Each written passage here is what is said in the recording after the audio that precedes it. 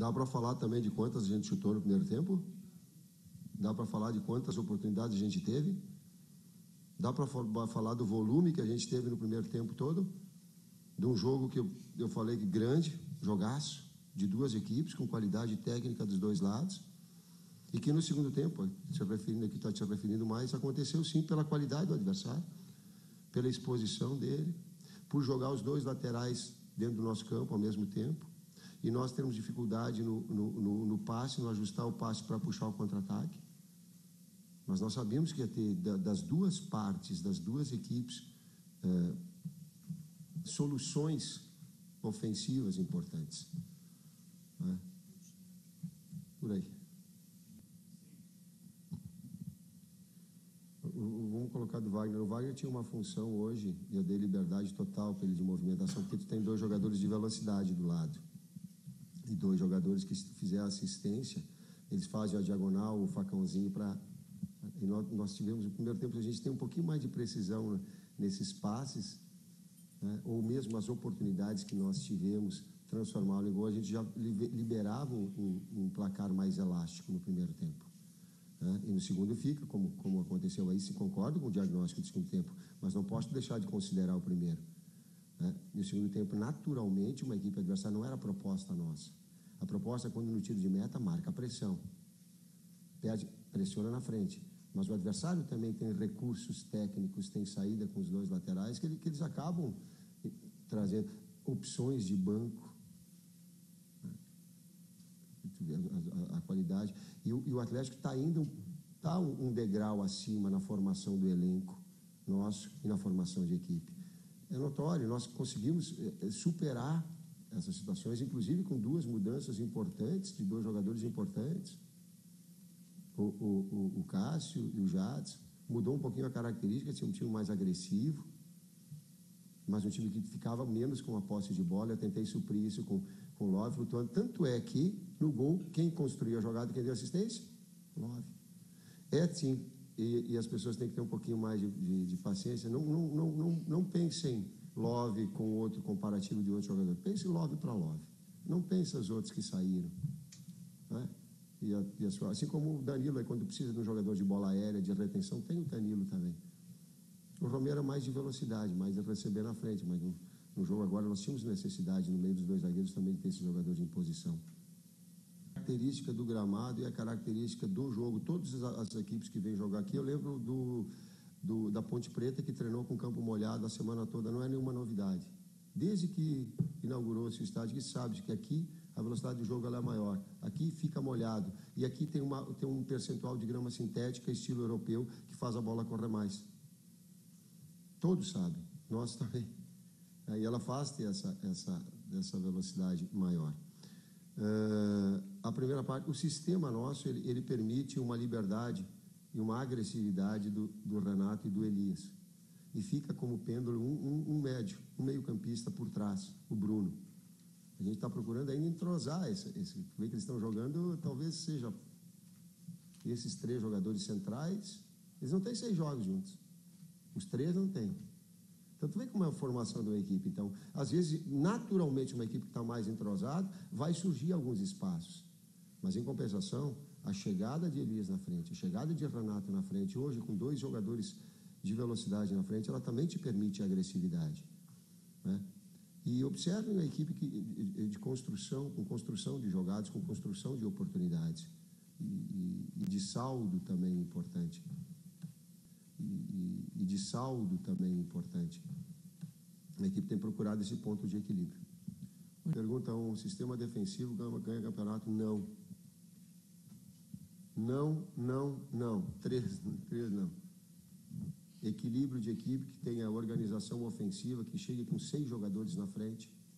A proposta da equipe do Corinthians é chegar com seis jogadores na frente. Aí, se você observarem, quando vai ter um cruzamento no lateral, tem a linha de três, o atacante Elias e Renato chegando, cinco mais um seis. O atacar marcando é sustentado por dois zagueiros, lateral do lado oposto em primeiro médio. Às vezes até o primeiro médio sai. Essa é a forma de jogar. Ataca com seis um chega por trás. Então é equilíbrio. Equipe que fica jogando especulando, Corinthians não especula. Corinthians propõe jogo. Atlético propõe jogo. São escolas bem características. Quando não dá, é porque o adversário faz pressão alta. Mas quantas oportunidades nós saímos e quantas vezes nós saímos tocando? Quantas vezes o Atlético, às vezes até arriscando, conseguiu? Então são duas escolas muito parecidas que pensam futebol parecido, não é reativo, é de construção. A outra?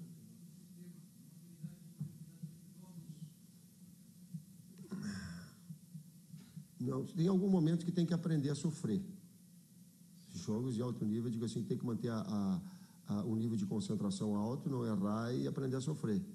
Quando ele, quando ele botou mais um, dois armadores, quando ele botou o, o, o, Guilherme, quando ele botou o menino do lado de articulação, o Cárdenas, ele ficou com dois articuladores, com, com o Rafael Carioca, e aí começou com os dois laterais passando e se expondo, tanto é que nós tínhamos a bola do jogo até para porque se expôs. O Leonardo virou centroavante nos últimos 10 minutos finais. É um time que, que abriu a possibilidade de, de contra-ataque. Nós tivemos a bola do jogo. Até nisso foi emocionante, foi jogaço. Jogaço. Até nisso foi. Teve a bola do jogo com, com o Mendonça, fez a grande defesa o Vitor.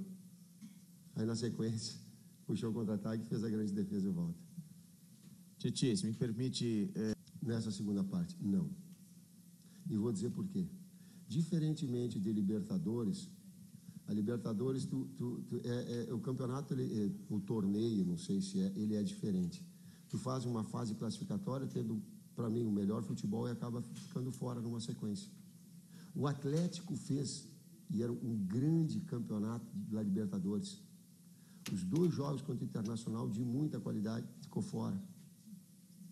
E às vezes nessa, nesse, nesse jogo, nesses dois jogos, tu pega um, um jogo errado de uma equipe e tu fica fora. Por que, que eu falei isso? Porque o Campeonato Brasileiro é diferente. Os três pontos contra o Atlético são os mesmos três pontos do Joinville. A mesma. Estou falando da, da ponta de cima e da ponta de baixo. É regularidade e é plantel. A equipe que conseguir construir, manter um nível com seu plantel, ela leva vantagem. Para mim, eu vou dormir em paz, dizendo assim: ó, a gente ganhou e mereceu vencer. Por exemplo, o lance da bola do poste. Foi falta no Bruno Henrique. Podem olhar, me cobrem se eu esteja errado. E eu vou, eu vou ter a grandeza de dizer assim: ó, o Bruno sobe para cabecear, ele é tocado nas suas costas, é desequilibrado, eu grito assim: é falta. Na sequência dá o lance e o lance do Gil, que não foi falta. Então, a grandeza desses jogos ele te permite que deu a bola no pau numa falta, uma falta perigosíssima quando tu tem tu tem, tu tem qualidade técnica dos dois lados que podem decidir jogo. Né? Eu, eu me sinto feliz por, pelo, pela, se tu pegar todo o jogo assim e botar na balança? Me sinto merecedor, assim como toda a equipe de, do resultado. Poderia ter sido 2 a 1? Um? Poderia, mas a vitória ela ficou bem colocada pelo que a equipe produziu. É uma alternativa tática, sim, pelas características dos atletas eu, eu, vou, eu vou desenvolver a linha de raciocínio, dá certo ou dá errado. Eu gosto de trabalhar sempre com quatro jogadores no meio campo, sendo, se puder, eles todos construtores de bom passe, tanto melhor. Mas eh, para fazer a função que o Jadson fez, faz, eu estou tentando trabalhar o Rodriguinho, mas ele precisa de tempo para observar. O Danilo, para fazer essa transição, fica difícil para ele, pela, pela, pela, pela constituição física dele. Ele é um jogador mais central. Aí eu botar ele para o centro e trazer o Renato para o lado, pô, ia mexer em duas. E botar o Matheus, é, é, é, o, o, peso do jogo, a grandeza do jogo é muito, muito grande. Vai, vai jogar na quarta-feira, nessa função, para trabalhar ele, para dar, repetir treinamentos para poder futuramente executar. Então, de ter dois articuladores. Como não, essas três possibilidades eu não dava, eu digo, pô, eu vou colocar um jogador de velocidade. E qual é que é a ideia? Fazer love não fica lá de nove. Vem rodar. Fazer o que o prato, o prato faz isso. O prato, ele, ele é pivô para a chegada na área, mas ele flutua nas costas dos volantes para fazer essas triangulações, essas, essas, combinações de jogada. E o Wagner fez, digo, só um pouquinho mais de ajuste do teu passe, às vezes não dá dois, três tempos, toque e sai, toque e movimento. Né? Para ter, para suprir um pouquinho, eu falei isso, aquela construção, tem mais um jogador de meio campo que com o Jadson a gente tem. Menos com o Malco. Eu pensava que ia ter com o Malco, mas não teve. Por quê? Porque os dois, os